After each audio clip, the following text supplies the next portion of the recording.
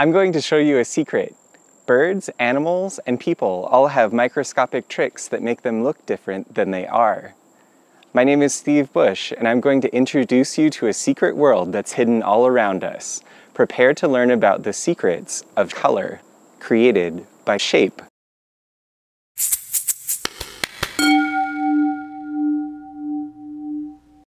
Birds have different pigments in their feathers.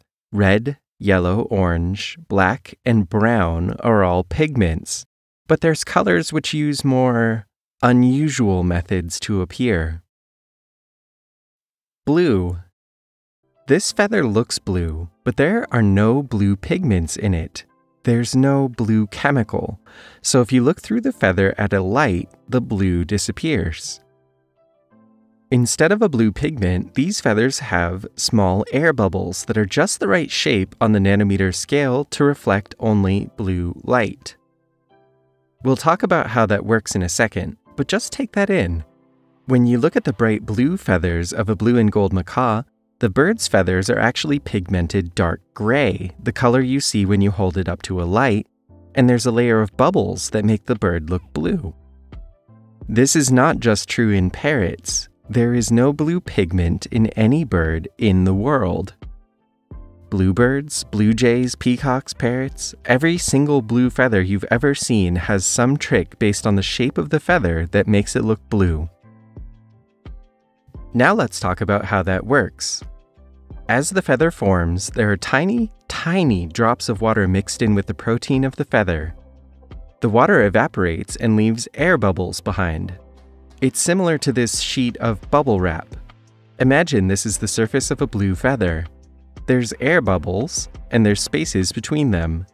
The bubbles are a mix of different sizes, mostly spherical, and, most importantly, are just under 500 nanometers apart on average. The average distance is the key because that is the exact color of light which will be reflected. Larger air bubbles reflect darker shades of blue because the average distance between them is shorter, which equals a darker blue. Smaller air bubbles reflect lighter shades of blue because the average distance is longer or lighter blue. Why does a field of air bubbles reflect the wavelengths that equal the average distance between them? We'll have to cover that some other day because honestly, I don't understand. It's the way the universe works. If you understand physics, please get in touch because I'd love to learn. You'll notice that the feather has dark gray pigment in it. This gray pigment absorbs every kind of light that hits it. But we know the blue has already bounced off the air bubbles, so the gray pigment is absorbing every color except blue, because the blue already turned around and left. This makes the blue way more vibrant, Here's a structural blue feather without the dark gray pigment. Kinda meh. Oh yeah, there's one more thing to say about blue. There's several more ways that shape can make stuff look blue, but only one other is used by birds as far as I know. That's to use thin, transparent films of just the right thickness. I don't want to overwhelm you by explaining two things in a row, but you can tell the difference by looking at them.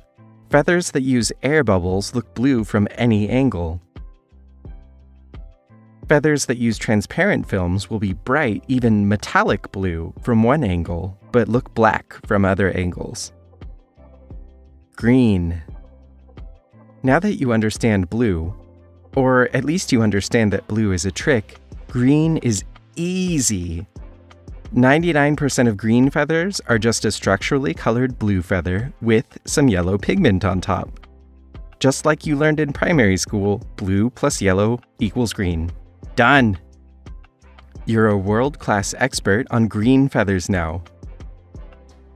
But what if part of this green system breaks down? What if the structural blue is missing or the yellow pigment? This happens sometimes. Budgerigars are naturally green, but babies are sometimes born that are blue or yellow. Now that we know how green is formed, we know what happened. Blue birds are missing their yellow pigment, and yellow birds are missing their air bubbles. It's that simple.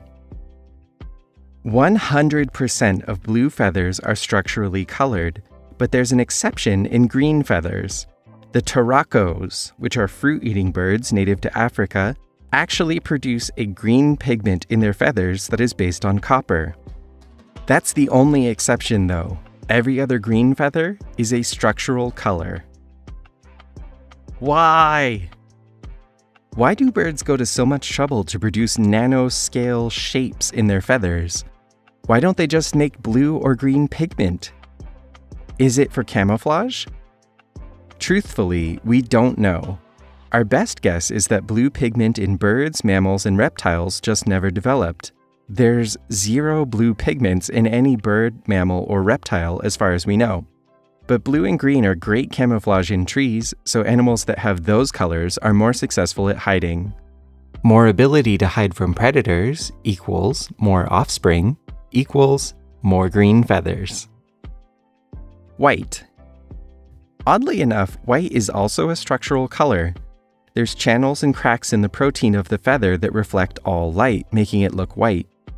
The way to understand this is to think of how clear water freezes into white snow. The chemistry of the water doesn't change, but the shape does, and that makes it reflect differently. So next time you're out and see a blue jay or bluebird, you can look the bird in the eye and say, I know your secret. You know that their feathers are colored by shape, not by pigment. And then you can turn to the person next to you and introduce them to this crazy hidden world that's in plain sight all around us. I hope you enjoy that experience. Go spread the word. Before you go, subscribe to learn more about what makes life awesome. Thanks for stopping by.